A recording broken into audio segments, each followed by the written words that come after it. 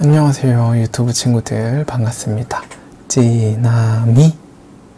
네, 오늘 먹을 음료수는 밀키스 핑크 소다입니다.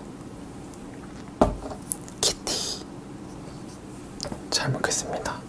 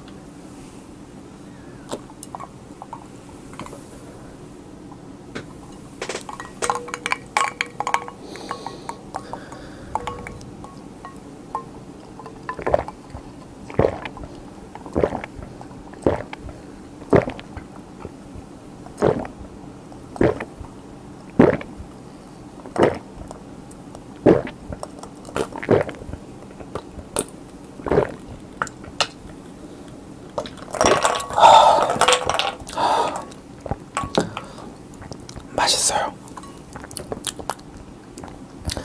잘 먹었습니다.